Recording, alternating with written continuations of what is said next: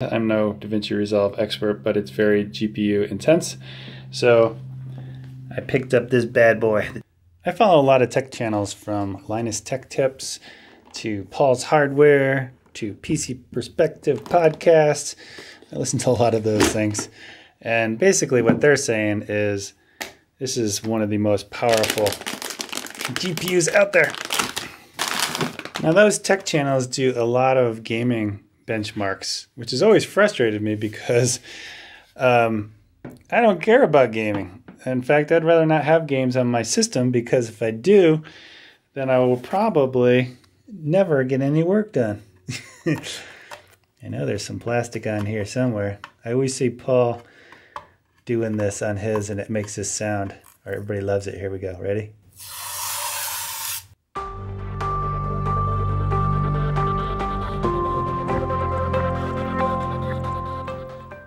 One of these guys that goes with the, all the RGB lighting because nobody ever sees the computer. I mean, it's got glass, but I really don't care. I'm not one of these guys that aesthetics is everything. I just want it to work. Now, you might be thinking, oh, Dave has probably done a whole bunch of testing with his 980 Ti, and he's going to do a whole bunch of benchmarks for us. Um, no, that's not going to happen. Um, this is going to be totally by feel. It's not going to be anything scientific. Most of the benchmarks out there are synthetic, which I really don't care about. And to be honest, I mean, I do care about a little bit about rendering or generating what's called optimized media. But uh, let's see, how does this come out? Again, I'm no computer expert here. But there is the 980 Ti. And in goes the 1080 Ti. Uh, uh, the biggest thing that I'm looking for is the response of uh, not just playback, because uh, actually the 1080 Ti did pretty well with the XAVC footage on playback once it started to play.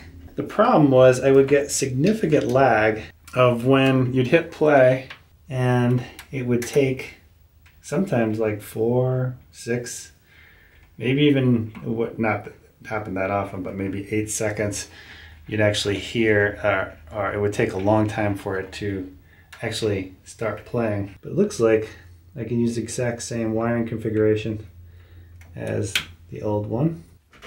Oh man, this thing is heavy.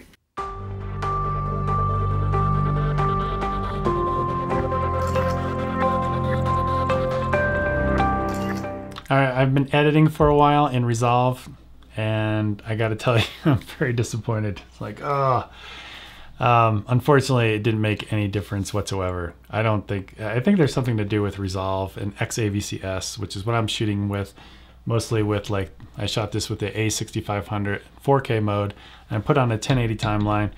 It's just not liking it. Um, if you go to some of the colors forums that I hang out in, and I you ask questions like this, they're all like, well, it's a terrible codec to play with. But I'm like, well, it works fine in Premiere Pro. And it works, when I understand it, cut, XAVC S cuts like butter in Edius um, and some other programs. But Resolve, it's just like, bleh. It's, let me let me see if I can demonstrate. So what I'm to do is I'm going to actually turn off the optimized media because I'll get to that here in a second. I'm to put a file in uh, and put it right here. It's brand new. I haven't cut this before. And I'm just gonna put the playhead somewhere and I'm gonna slap the keyboard so you know when I've hit play and you can kind of count how long it takes before it starts to play. Sometimes 1001, 1002, 1003. Oh, I didn't hit play. Oh, I did hit play. Let's try it again. 1001. All right, that was pretty quick. So I'm gonna make a cut here, put the playhead right on it. 1001, 1002, 1003, 1004, about four seconds. And that, my friend, is just terrible. Here, let's do it again. Sometimes it won't, it'll start right away. 1001, 1002, maybe a second and a half or so there. Let's try another cut. 1001, 1002, 1003, about three seconds. It's from anywhere from like a one second to four seconds. Sometimes it's actually could be like six to eight seconds. Sorry, I'm not the only one home today. Um, that's the biggest bummer when you try to be creative and you're editing quickly. Like last time I was last night I was editing volleyball, and I really you really need to turn optimized media on. So what is optimized media? It's basically a proxy, And let me show you what I'm talking about. So I'm going to turn on optimize media. Now if I make a cut, it goes, make a cut, it goes, make a cut. I should turn my phone off before I start recording. It goes. Um, it's great. And watch the scrubbing performance. Look at that. That's just butter.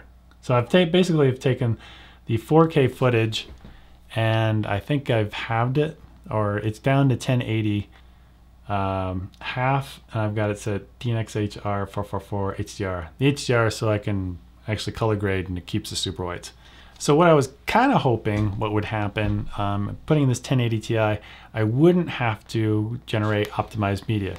You might be saying, well, Dave, that's not a big deal. I don't know. It's like I was editing a volleyball game last night and I was like, oh, should I, you know, wait the 20 to 30 minutes for it to actually, you know, chew through the footage and create optimized media or do I just start cutting right away? Sometimes I'll start cutting right away because I can kind of deal with that four seconds versus waiting a half hour for the thing to do, you know, do its thing. Um, just really quick, let me go through the specs on my machine. It's an i7 5960X 8 core overclocked to 4.3. The 1080 Ti, I have not overclocked it yet. I don't even know how.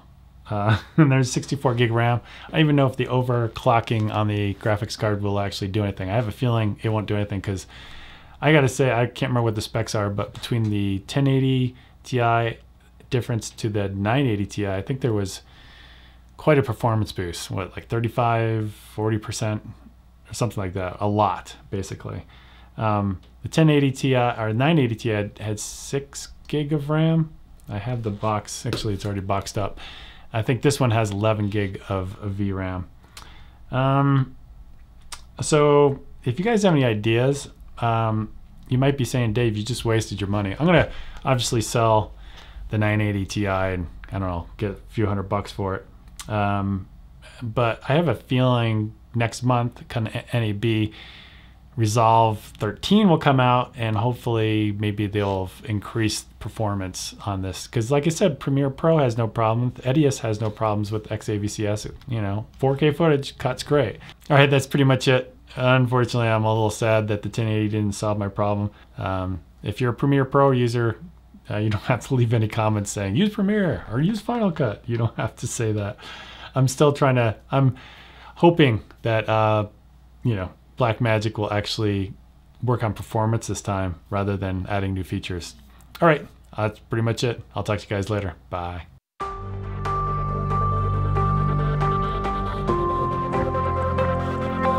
If anybody's interested in buying this, um, before I put it up on eBay, I'll give you a better deal. I'll take the average price minus the commissions that I'd have to pay to uh, eBay, and I'll give you a better deal.